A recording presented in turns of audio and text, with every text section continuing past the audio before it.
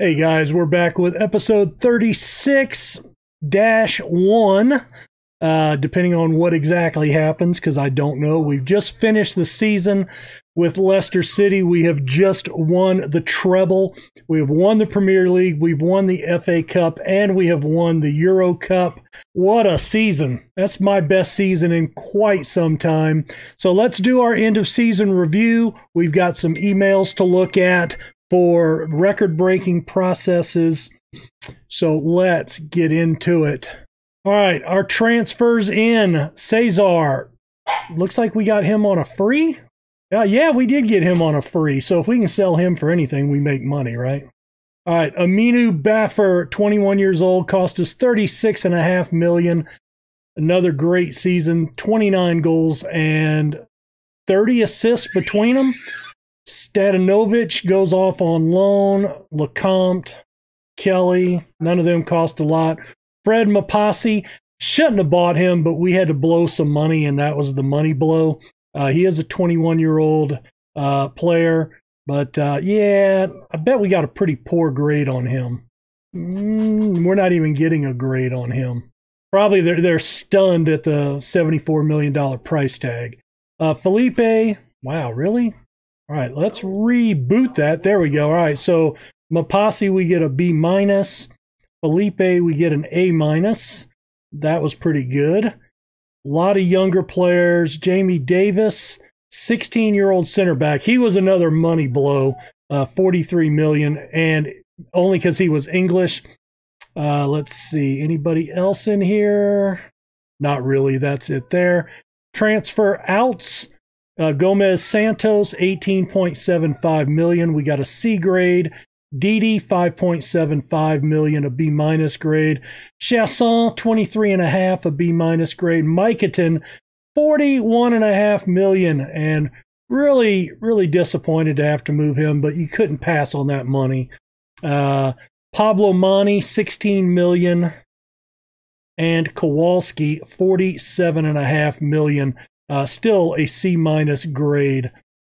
Uh, we got an A plus from the board for our results. Noel Mark was the top scorer in the Premier League with 31 league goals.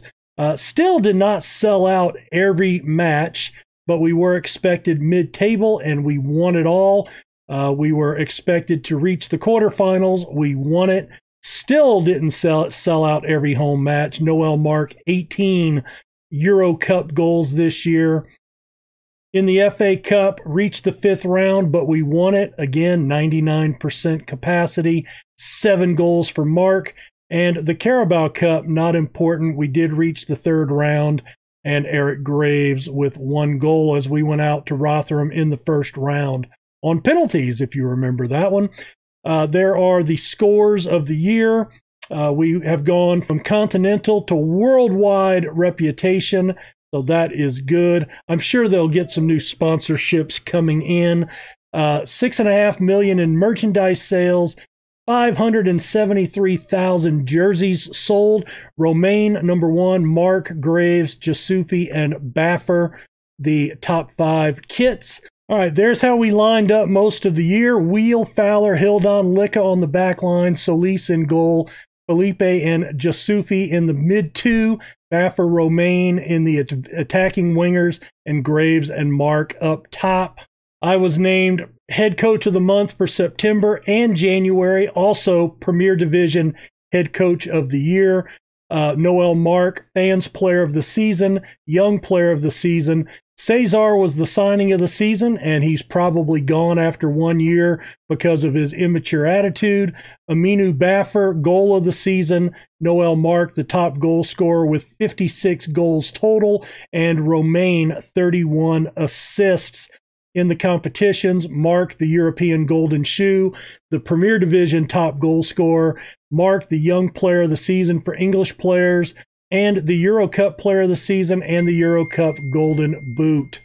Record breakers, most overall goals, 56 in a season, so that's a record breaker. Most assists, 31, and Noel Mark, 16 Player of the Match awards. We did win the treble, and there you see all the records that have fallen. Players inducted into the Leicester Best 11 Uh, Eric Graves is the pick of players. He has 128 appearances and 101 goals.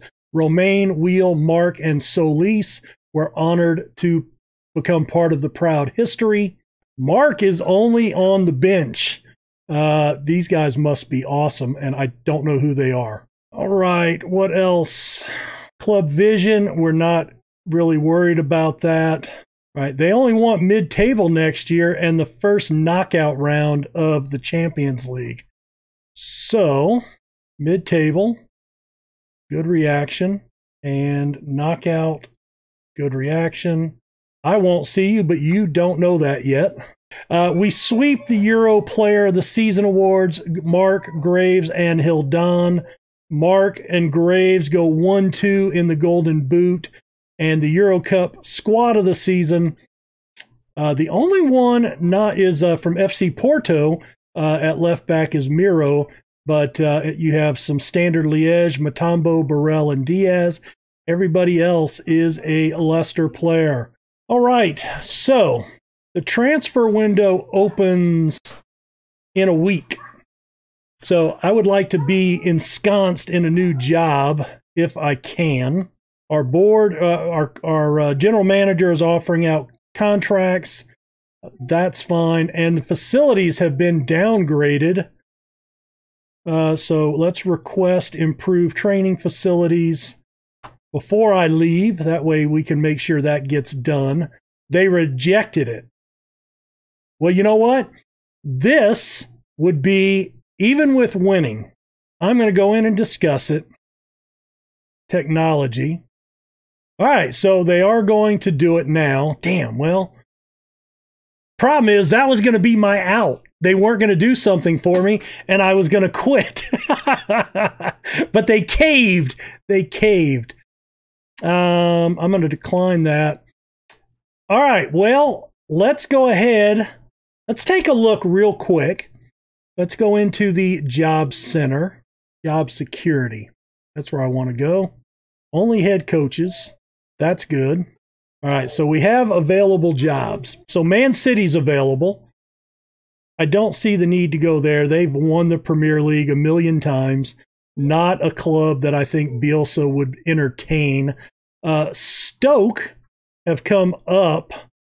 Uh, were they finished 17th this year, just missing relegation.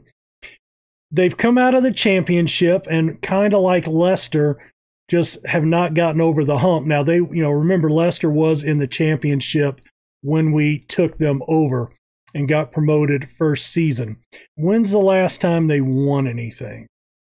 2038 to win the championship, 35 winning League 1. So they haven't won anything in a while. So that's that's one we could look at, but yeah, you know. How about Levante? They're in the Spanish first division, but they're only three star. So they've been a League Two side, second division. They got promoted in 53 54, immediately relegated finished third and then won the league this year. Now, what do their head coaches look like? So he left the head coach's role. Uh, I don't know if it doesn't say he's interim, does it? It does not say he is the interim position. He has been their interim manager like forever. So I think he is an interim manager. That would be an interesting thing. They have never won the first division. They have only won the second division, including this year. So I wonder where did Ruben uh, Nieves go? He has gone to Nuremberg in Germany in the Bundesliga 2. All right, so that's weird. Why would you go to a Bundesliga 2 side with your club getting promoted to the Spanish first division? So that's interesting. And they've never finished I mean, they've been immediately relegated both uh, the one time they made it. That's an interesting club. They have great training in youth, which is important. Finances are secure. Oh, you know what? Hold on. I want to see. I'm only favored personnel. Come on, guys. What does somebody have to do? We just won the treble. So Levante could be an interesting job. Sevilla, now they've been a first division, but just bouncing. They actually crashed down into the third division before climbing back up, and then they were mid table last year. I would lean Levante, but Sevilla having gone down to second division would be interesting. All right, so there are some clubs in here. I don't want to go back to the Netherlands. We've done that. I did not enjoy my time in the Bundesliga. Don't know why. Not sure. Let's see. Gillingham made it to the championship. Now, are they getting relegated this year? Yes, so they're getting relegated. So probably not interested in that job. Lincoln. Now, Lincoln was in the premiere for a run and then fell out, and then they've kind of been going back and forth. They finished ninth in the championship this year. Superb, state of the art. Not a big fan of red kits, though. All right, well, let me look around. So there are some jobs that are at least of interest. Uh, always, always like the metal job, you know.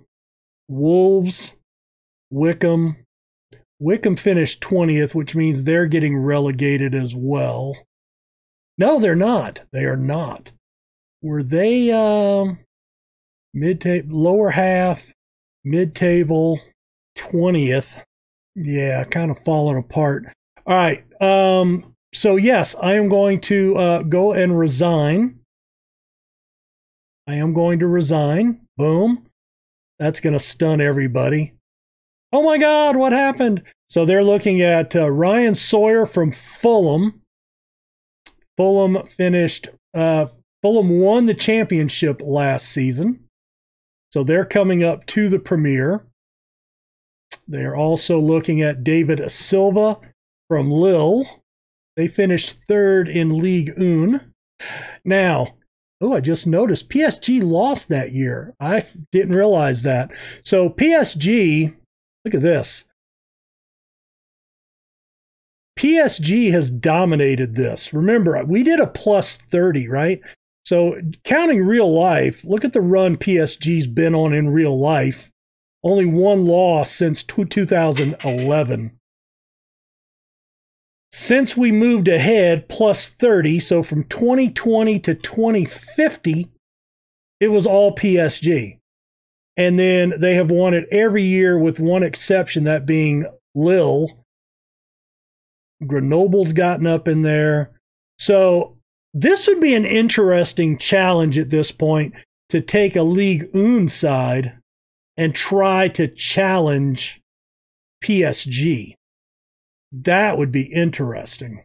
So uh, let's see. Coach Norbert Ger- Gergely. Uh, he's a great coach. I like him.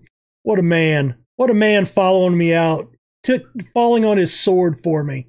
I like that. We're going to write his name down. That might be my new assistant manager. Maybe that's how I reward him. And he actually has good judgment of ability, too. All right, so let me get into things. Let me see what happens. I don't really know what I'm looking for, uh, but I'm intrigued right now.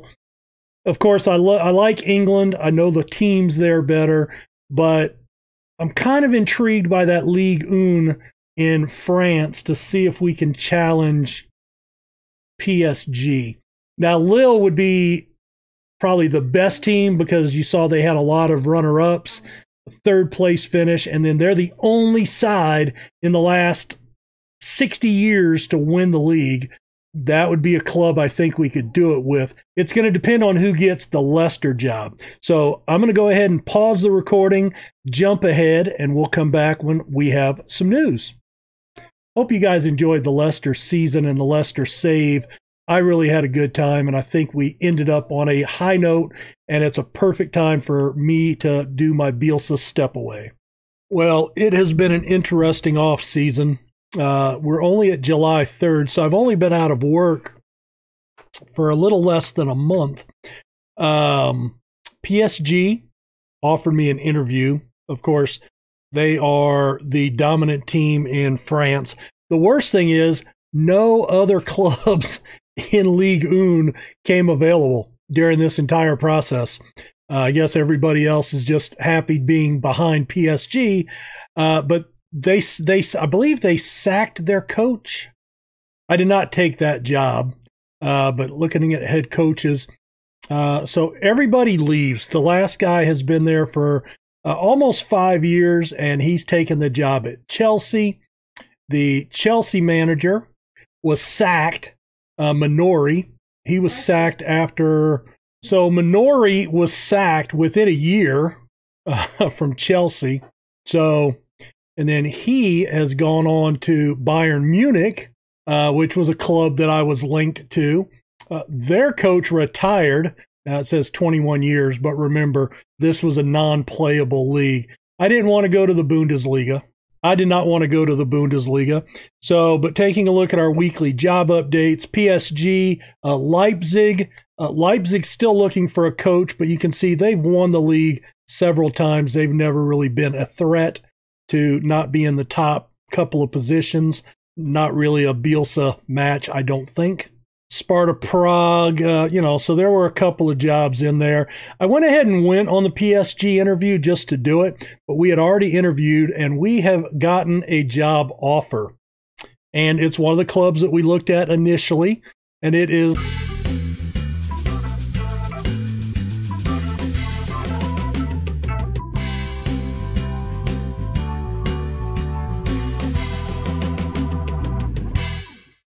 Levante, the Frogs. So the biggest problem is they want defensively solid soccer. I'm not sure about that. I don't know. I don't know that my guys play defensively solid football. So a transfer budget of just under 10 million, a payroll budget of just under 4 million, a promise to keep the general manager in place, which I'm okay with. Develop players using the club's youth system uh, play direct football, play counterattacking football, uh, work within the payroll budget. They only want us to fight bravely against relegation. So let's take a look at them. Uh, I'm going to accept the job. Uh, worst case is I might delay it a week and see if another French job comes open, but none of the jobs are even on edge right now. The only other French jobs are in the League Three or the you know whatever the third tier is. And I don't think I want to drop down that far. So what got my attention here with uh, Levante? They've won the Spanish division four times. Uh, most of those uh, since uh, we started doing the plus 30 portion of this save. So 2004, 2017 in real life, 2024 and then 2057, the most recent year, getting promotion uh, twice in the last four years. They have never won the first division, and the last time they made it up, they got relegated the very next season. Uh, and then didn't did not get promotion and then won the league this year. So they have never been more than one season in the first division. And you can see going all the way back to 2036 the last 20 years, they have not been a first division side with the exception of that one season. So that's the first thing. This is a club that we can build into something better, hopefully. They have great training facilities, excellent youth facilities, uh, national reputation. Finances are secure, they're not rich. So I don't know exactly what that means. I don't know if they're in the negative. I don't know if they have a debt load. I have no idea. Uh, just a couple of favored personnel, so it should be able to get. We should be able to get into that pretty close, pretty quickly. Uh, Villarreal is, I believe, the club that we. Yes, the Ceramic Stadium. Uh, it's a yellow stadium. That is a club that we have managed in a previous, I believe, FM19. I believe. So that's one of our other rivals uh, Alicante, Castellon, Aichi, and Valencia is our fierce rival, and they are local uh, as well. They are a national reputation side, as are we, but only three star. So let's go ahead and take the job. I would like to negotiate this defensively solid football out. So fight bravely against relegation this year. Develop the best youth system in the country. They're going to have to spend money to do that, which means we're going to have to make money and be profitable. So let's start negotiations. Evidently, those are not negotiable. That's disappointing. Work within the payroll budget, not a big deal. Everything else is doable. Avoid relegation. 204. Start going. And yeah, I don't know. Do I do I go Bielsa and only ask for a one year contract? Okay, they want a three year deal. All right, that's fine. Uh, how about only a thirty percent? In fact, I only want twenty five percent. All right, they take that. I will do it. And we are once again employed. Leicester is still looking for a coach, but we are at Levante, the manager of the Frogs. Eyebrows have been raised. I have not spent, I spent three weeks away from club soccer and it was the off season. Hello. Andrew Coleman considered to be the favorite for the job. That was until I voiced my opinion that I was going to be interested in the job. Oh, that's right. Hold on. Are, we are. That's right. I don't think we we got we did not get relegated this year. All right, the Valencia, the Ciutat de Val- Valencia. I'm gonna have to, you know, I don't speak Spanish, so no clue. Uh, but I'm, I'm not even sure what that means. Uh, much smaller stadium, 26,000 capacity. Great training, excellent youth, good youth recruitment.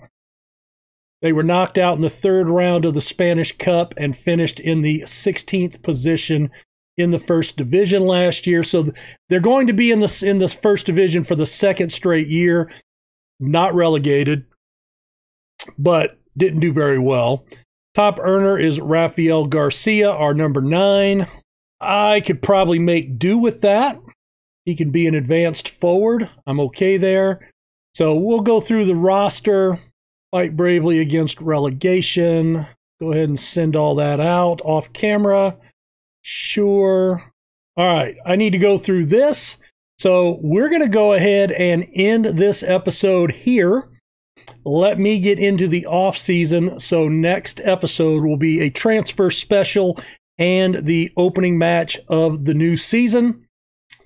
So I'm excited. I always like the the uh, first season of transfers. I like transfer season in general, but uh, we're gonna have to come in see who we've got here.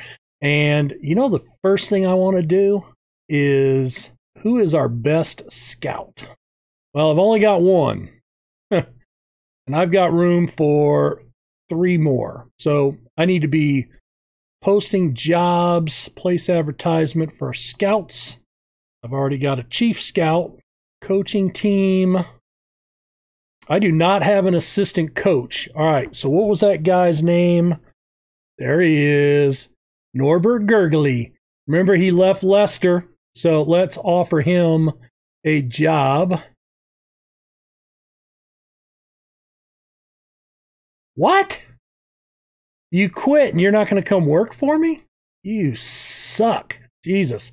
All right. Well, I do need to place an advertisement for a assistant coach.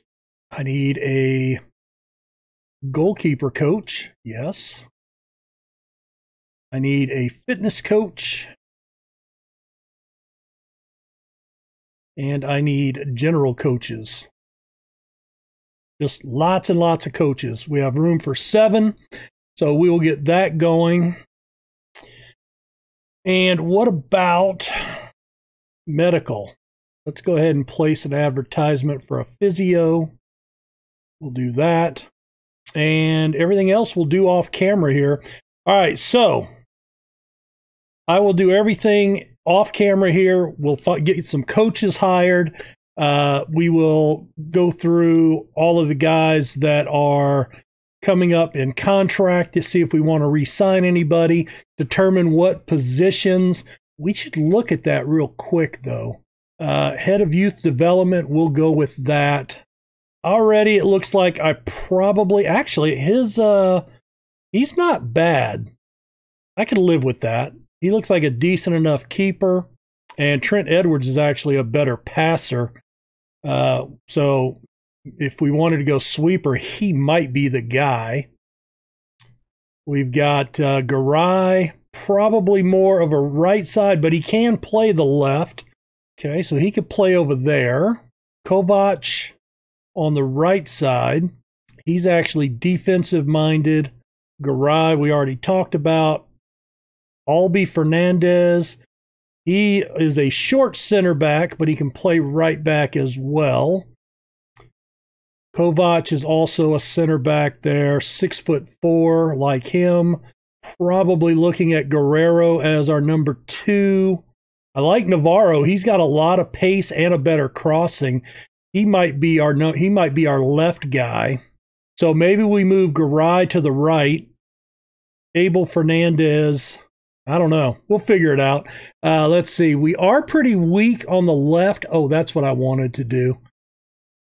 Let's let's go to the premiere and I want to look at Leicester team report please.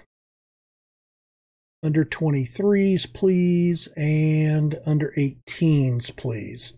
All right. Just to get a team report, see who might be available, uh, who they've transfer listed, if anybody.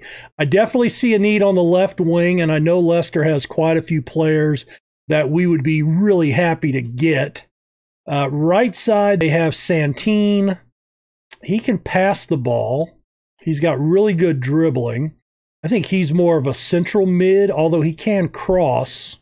Enrique, he's a number 10 if we wanted to go that route. Sagoba is pretty good. Santin could slot in there. Gonzalez, I like him. He looks really good. And how old is he? 21. Okay.